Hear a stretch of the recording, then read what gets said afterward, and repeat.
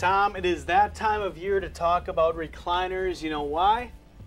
Football, Joe. Because football. it is football season. Everybody wants to relax, enjoy the big game, be comfortable, get your spot all set up. So, what can we look for in recliners today, Tom? Actually, Joe, recliners come in many kinds, Mm-hmm. many sizes, uh, many shapes. But today, Joe, we're going to zero in on these two testosterone kings. Testosterone kings. A man's best friend, Joe, Nice. recliner, and a dog.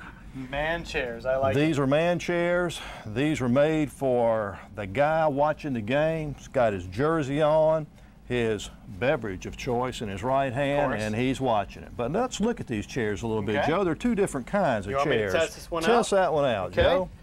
I'll take a seat right here. Tell me all Joe, about this, tell, how big are you, Joe? 5'11. 5'11. Well, look how Joe looks in that Mm-hmm. pounds chair. of pure beef. Mhm. This thing will hold about a 500 pound individual, so it could be three Joes on there. Wow. Kick that thing back. There it is. It's a wall saver, and the reason it's a wall saver is the buildup underneath it.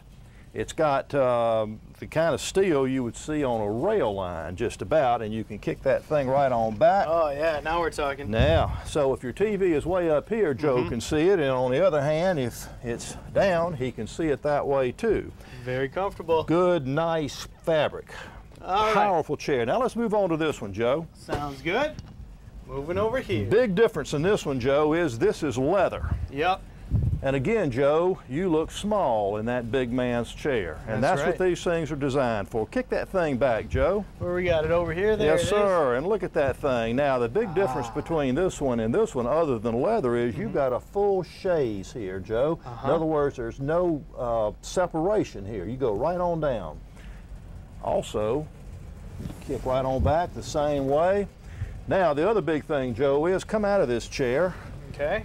put your feet down. Hurry up, Joe. I'm Uh, trying. you there we go. You're almost too little for that chair, Joe. But look at the other thing. It rocks. Ah, I see This one, you'll recall, Joe, did not rock. This one rocks. So this is for the big man that wants to rock when he I watches see. his ball game. Fantastic. So you can rock, you can lay back, you can click back and forth between the football games and Fox 10, right? You can do that, Joe. Absolutely.